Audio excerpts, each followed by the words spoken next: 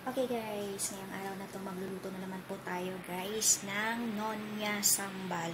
So ang gagamitin ko ngayong uh, uh, gagamitin ko pala is pusit. So kung paano ko to ginawa guys, ipapakita ko sa inyo. Ayan na siya. So hopefully na magugustuhan niyo na naman to ang aking gagawin. Medyo maanghang po to siya.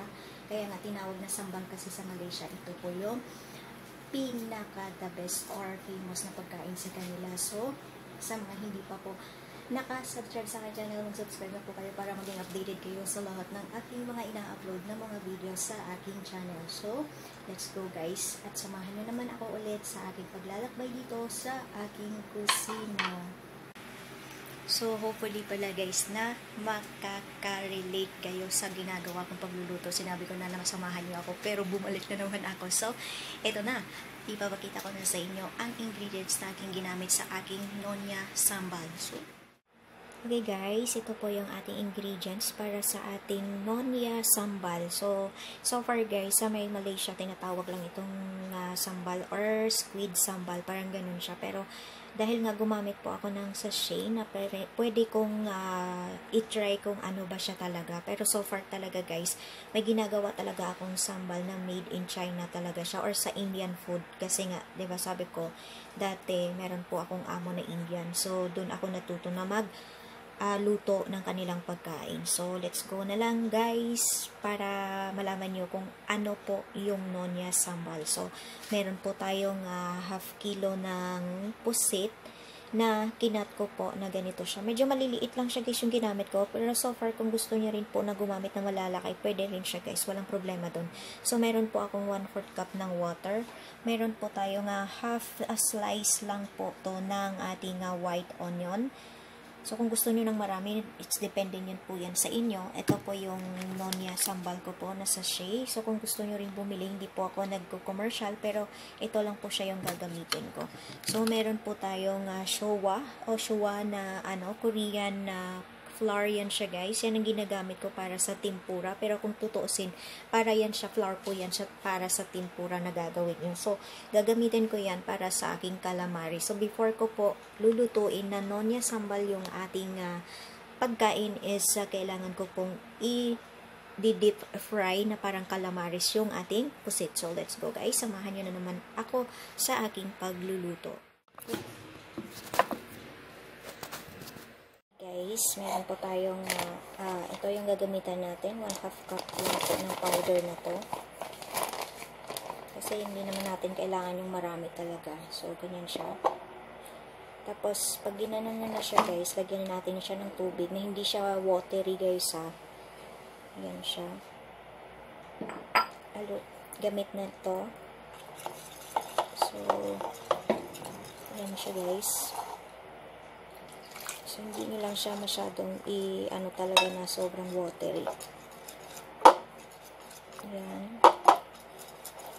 Mix nyo lang siya. Pero pag kulang guys, kahit 1 cup pa siya, pwede nyo yan siyang i-dagdagan.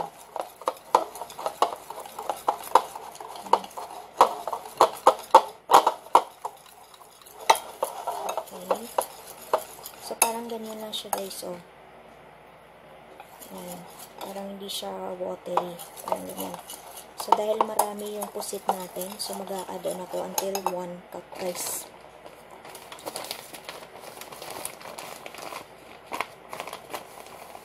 Tinatansya ko lang siya guys kasi ayoko kasi yung sayang yung ano. Kaya mag-ano lang tayo, mag-a-adjust. Okay, lagyan natin ulit ng tubig.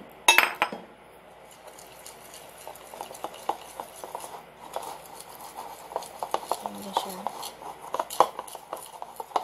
So, medyo thick.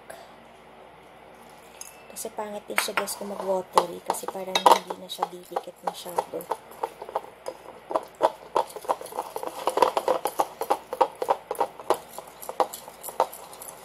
Kailangan wala siyang lumps.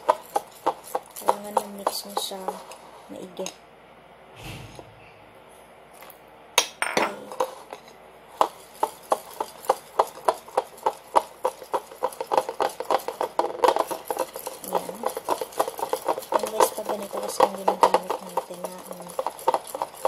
Mas maganda. Ayan siya guys, oh. Ayan. Ayan, ganyan siya. Yung medyo, ano na, oh, hindi nyo nakikita yung, ano niya. Okay. So, ang gagawin lang natin ngayon is, ilalagay lang natin yung ating uh, squid. So, ganunin nyo lang siya, guys. Basta, ilagay nyo lang siya, guys, ha. Huwag nyo dalhin yung tubig niya. Kasi, magiging watery na yung, ano nyo, yung flour na ginamit nyo. So far naman kasi guys, pwede naman natin gawin to on the side or option natin yung flour, uh, cornstarch, tapos white egg. Yan. Pwede yan siya guys.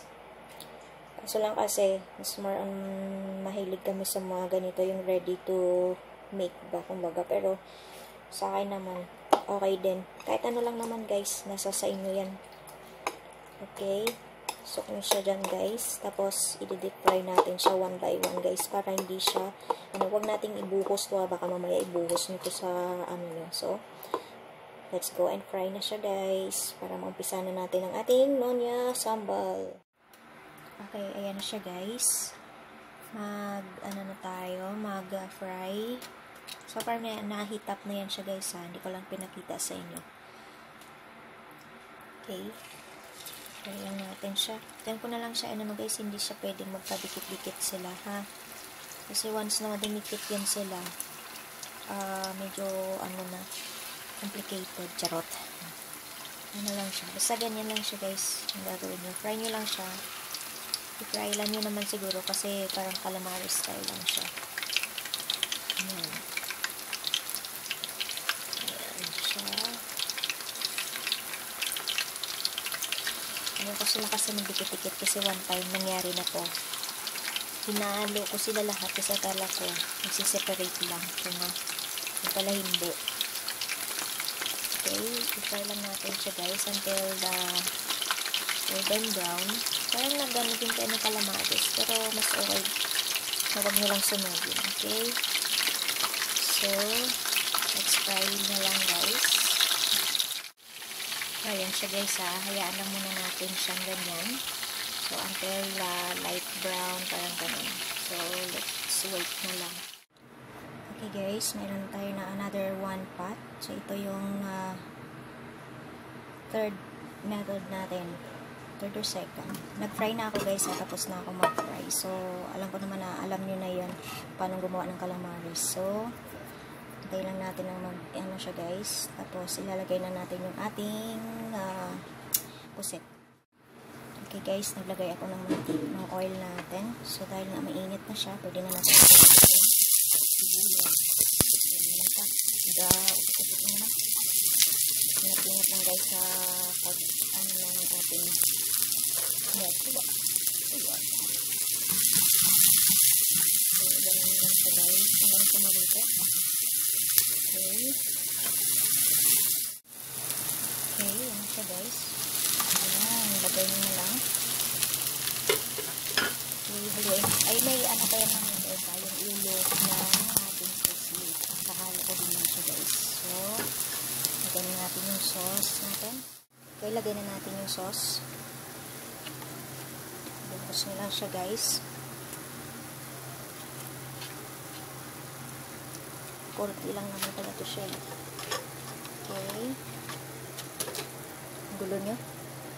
Lagyan lang ng konting tubig. Huwag nyo siyang iubos guys ha. Yan siya. Tapos haluin lang siya ulit. Lalagay ko dito yung last part, yung mga ulo ng puset. Okay. Okay, simmer siya ulit guys. Ah, yan siya guys. Sinalo ko po yung ulo. Hindi ko lang pinakita sa inyo guys ha. Pero sinama ko na siya kasi lahat. Sumasabog siya. eh. Kaya natatakot ako na uh, i-ano talaga sa inyo ng live. Pakita. So, simmer lang natin siya hanggang sa mag, uh, ano muna, mag-absorb yung ating sauce. So, yan na siya guys, yung ating nonya sambal. So, let's wait na lang guys.